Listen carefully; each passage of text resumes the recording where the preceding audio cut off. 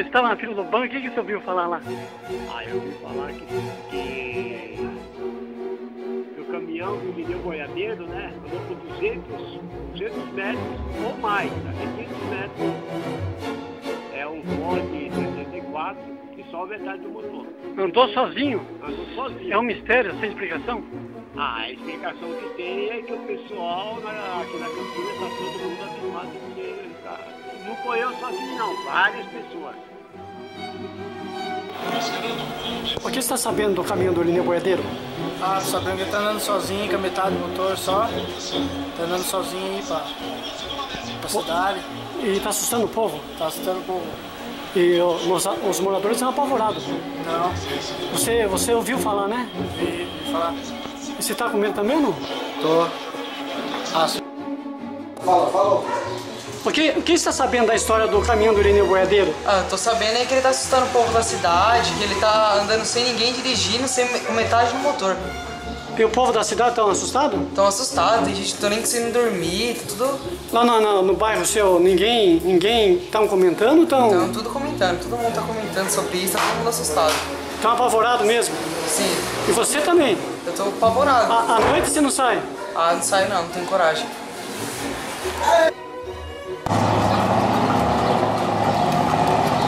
Oi, para um pouquinho aí. Oi, Como é que é seu nome? Guilherme. Ô Guilherme, o que você está sabendo da história do Lineu Boiadeiro? Ah, eu tô sabendo que o caminhão tá andando a 200 metros, sem ninguém no caminhão e metade do motor. E é um caminhão então fantasma. Isso mesmo.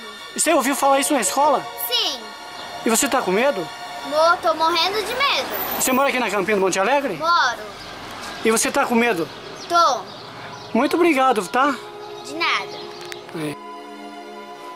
O senhor tá sabendo do, do Irineu Boiadeiro aí, que tá acontecendo com o, com o caminhão dele? É meu amigo, o Irineu. O, caminhão dele andou três vezes so- sozinho. Um caminhão 60, 64. É um Ford? Um esse- Ford 64. Diz que é só metade do, da- do motor? É só metade do motor. E andou sozinho. É um mistério, não? É barbaridade, né? Já pensou o que está acontecendo?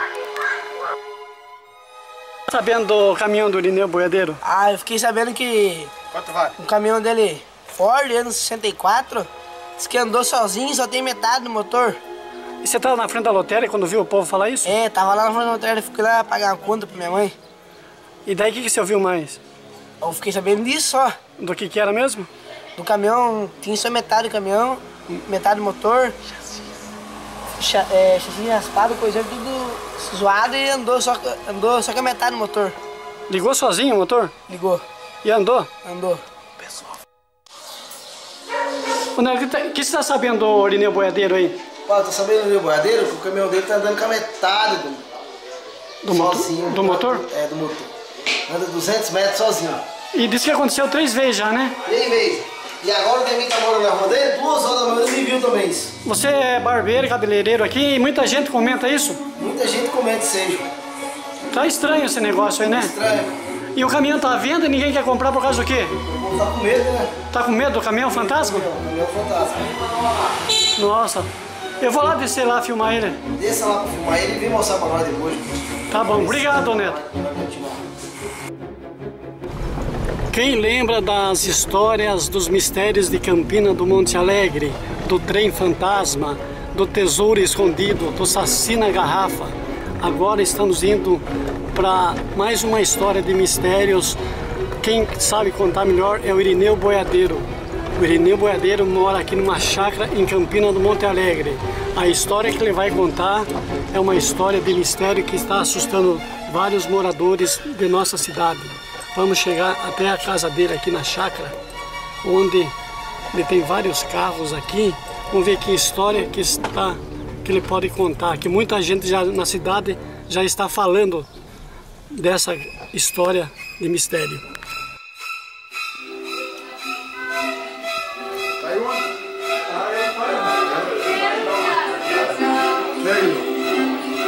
Dá licença, Irineu. À vontade, entra, vai entrando. Tudo bom? Graças a Deus.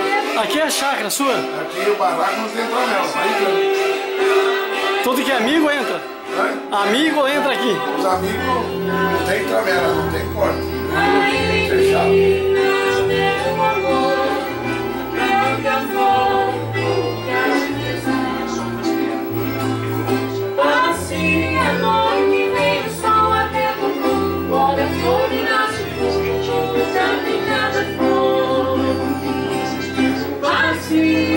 Depois você mostra a sua chácara pra nós? Mostra. Orineu, aqui é sua chácara então? E esses carros que tá aqui? É tudo para negócio. Para negócio? E aqui tem bastante comprador. Aqui tem bastante. Tudo que vem aqui, nós vem e já vende. Tá. Só, só, só, tem um que não, ninguém quer comprar. O que que é? Fora, É um ca- Ele anda, já andou funcionando três vezes sozinho aí, com a metade do motor, ninguém quer o caminhão mesmo. Ninguém quer comprar esse Não, caminhão? não. Estão com medo? Estão com medo dele. Então, Fala que ele é assombrado, estão assustando o povo da tá cidade? assustando o povo. Vamos ver esse caminhão lá, Arineu? Vamos. Vem aqui. Vamos lá. E esses aqui é- tem comprador. Isso aqui que tudo. Aqui é só, só querer vender os que tá lá pra frente. Todo mundo quer, mas aqui lá ninguém quer. Ninguém quer. Estão falando que ele é assombrado. E você ouviu três vezes já ele funcionar? Que ano que é? Ele é ano 64, É Ford? é Ford. Então esse é o caminhão misterioso? O caminhão- Tirei, tirei um pedaço dele aqui pra ver se tem, mas não é não. ainda. Já funcionou sem o pedaço também. Tá vendo aí? Lá. É um caminhão fantasma então. É, a turma tá dizendo que ele é assombração. Tá vendo? aí? Vamos ver.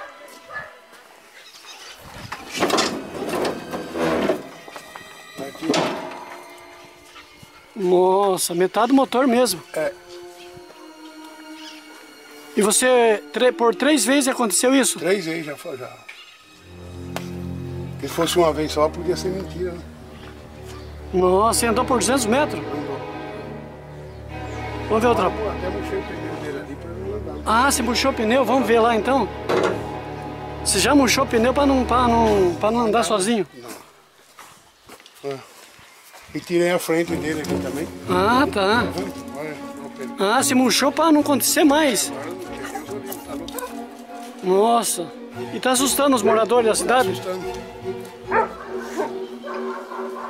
Então é um caminhão fantasma. É, olha, as coisas dele tá tiradas aqui do motor e ele fazendo essa loucura aí. Irineu, então deixa uma mensagem aí pro povo.